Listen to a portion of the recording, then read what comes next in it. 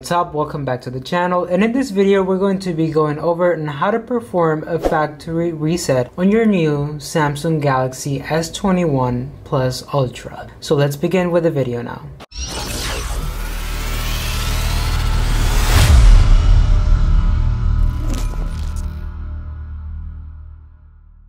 So what's up everyone, welcome back to Serg Tech, Sergio here. In this channel I do a lot of tech reviews and tutorials, so make sure you subscribe so you don't miss out on future videos like this. There's gonna be links to everything that I talk about in this video in the description down below, so do check that out. And let's get right on with the video. So the reason you may wanna do this, maybe your phone is running a little bit slow because you have the storage full and you wanna erase everything to factory condition, or maybe you're gonna give away your phone or trade it in, so you need to erase every single information that you have. So in this video, I'm going to be showing you two methods that you can do this. And the first one is going to be through your settings. And the second one, if you don't know the password of your phone. So the first one is going to be through the settings. So I'm just going to go ahead right here on settings. And right here on settings, you're going to go all the way down to where it says general management. Once you're there, you're going to go all the way down to where it says reset. And here you're going to see reset all settings. So we're going to press that. And this is going to warn you that this is going to reset all the settings on your phone, including security, language, accounts, personal data, and settings for downloaded apps. So once you're ready, you press reset settings, and now it's going to be the last warning telling you that all settings are going to be reset to their defaults and can be recovered. To apply new settings, your phone will restart. So once you're ready, you're just going to press reset, and that's going to begin the process. Okay, so now for the second method, let's say that you have a password and you honestly can't remember what the password was,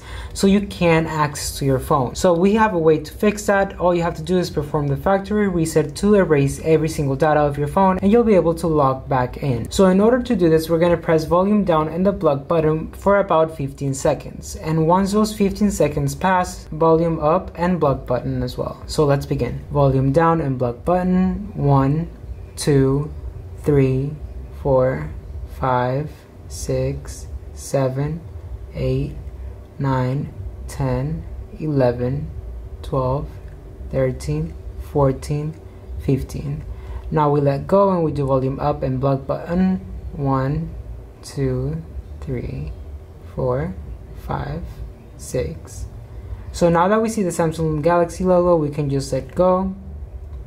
And that is going to take us to this menu. And that's going to take us to the Android recovery menu. So I'm going to put it up close so you can read. In this menu you're going to be moving with the volume buttons to go down you go volume down and up volume up and to choose or select just the plug button. So we're gonna go so we're gonna go all the way down to where it says wipe data slash factory reset. And here once again it's gonna tell you that if your phone is reset you may need to enter the Google account information. So once you're there you're just gonna select it with the plug button. This is gonna warn you that it's gonna wipe all the user data and this cannot be undone. So we just go once we go down once again and then select and now we can just wait because now the phone is going to start rebooting. So if you check at the bottom it's going to say data wipe complete. So now we just go up here to where it says reboot system now. So we select that and now our phone is going to be rebooting.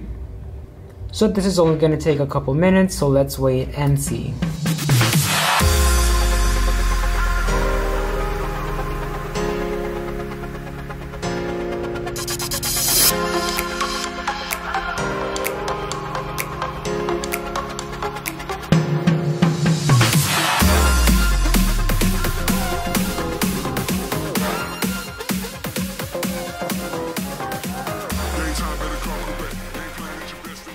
So here you are on the main menu of your Samsung Galaxy S21 Plus Ultra as if it was brand new. Okay everyone, so that's it for the video on how to perform a factory reset on your Samsung S21 Plus Ultra. If you enjoyed this video, don't forget to give it a like and leave a comment down below if it helped you out. And don't forget to subscribe for more videos like this. And as always, I'll see you in the next one.